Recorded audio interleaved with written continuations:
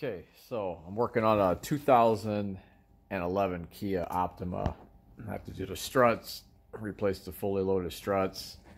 I'm to replace the stabilizer end links. Just got to come off, and I'm not putting on old stuff. Um, but I'm trying to get the brake rotor off, and I was just to get a quick tip on these, on when these um, uh, these are actually the assembly line hold down um, screws.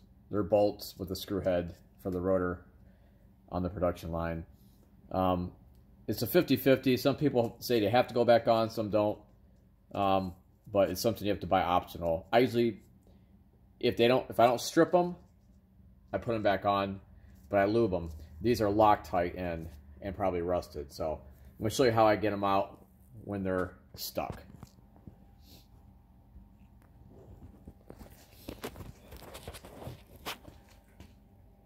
So let me try to prop this up.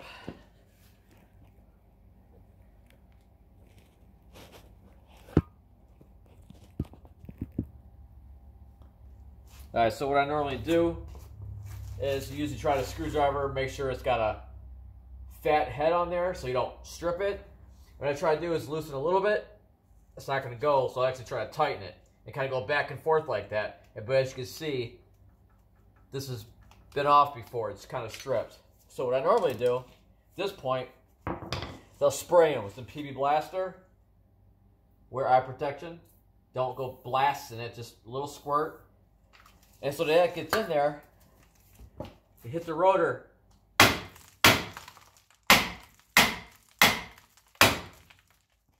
Wear safety glasses, earplugs. Then I'll use a a fat um, Phillips.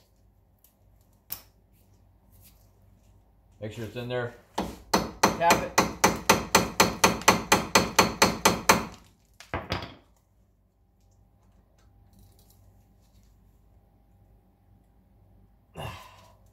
You may have to use this to hold it and turn it.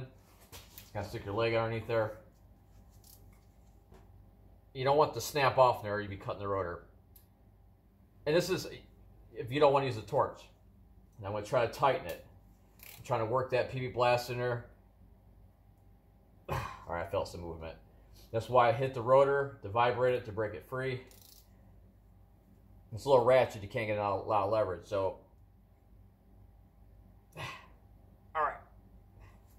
You got to watch because you might think it's coming, and what's happening is this is twisting. So I'm going to work on the bottom one.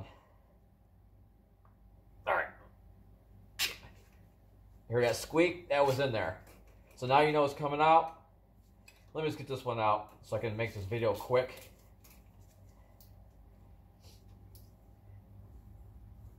This is for those who don't have a torch. And I'm not talking MAPP gas either. I'm talking a torch. You heat these up.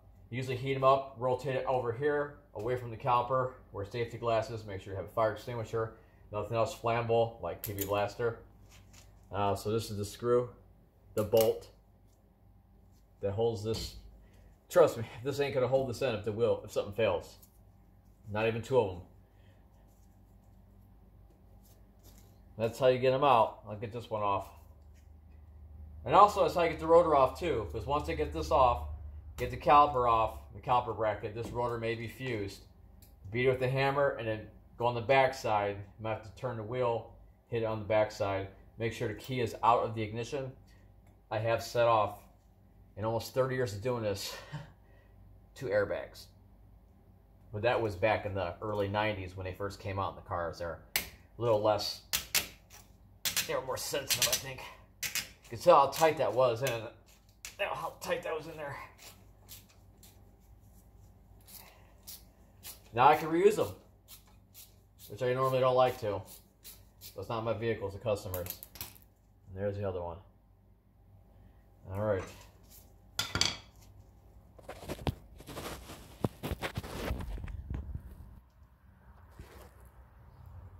You can see how dry it was in there on those threads. This is on a 2011 Kia Optima. Thank you for watching.